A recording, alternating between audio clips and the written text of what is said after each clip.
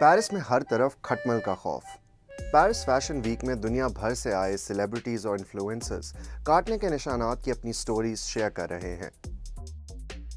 کھٹمل کی موجودگی میٹرو پر، بسوں پر، ایئرپورٹ اور سینما گھروں میں رپورٹ ہوئی ہے۔ جیسے کوئی ننے خون پینے والے ٹورسٹس ہوں۔ پیرس کے ڈپٹی میئر نے کہا کہ کوئی بھی اس سے محفوظ نہیں ہے اور انہیں اگلے سال اولمپک سے پہلے ان سے چھٹکارا پانے کے لیے ایکشن پر زور دیا۔ بڑے کھٹمل تقریباً پانچ ملی میٹر لمبے ہوتے ہیں۔ ان کی رنگت گہری پیلی، سرخ یا بھوری ہو سکتی ہے۔ میٹرسز اور فرنیچر پر بھورے رنگ کے چھوٹے نشان اور بیڈ پر خون کے دھبے بیڈ بگز کے سائنز ہیں۔ یہ صرف رات کو انسانی خون پینے کے لیے باہر نکلتے ہیں۔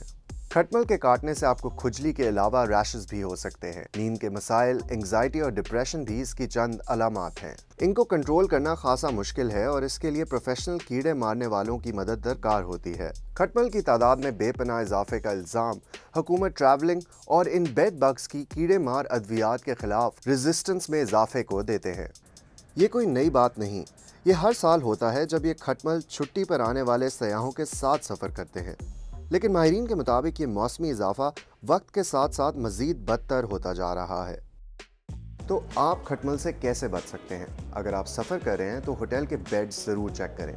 گھر میں داخل ہونے سے پہلے اپنی اشیاء ضرور چیک کریں، کیونکہ یہ بیڈ بگز آپ کی جیب، زپ اور کپڑے کی سلائی میں چھپے ہو سکتے ہیں۔ متاثرہ کسی بھی چیز کو سکسٹی ڈگری سیلسیس پر دھوئیں اور ہو سکے تو اسے گرم درجہ حرارت پر سکھائیں یا اسے کسی بیگ میں رکھ کر چار روز کے لیے فریزر میں رکھ دیں۔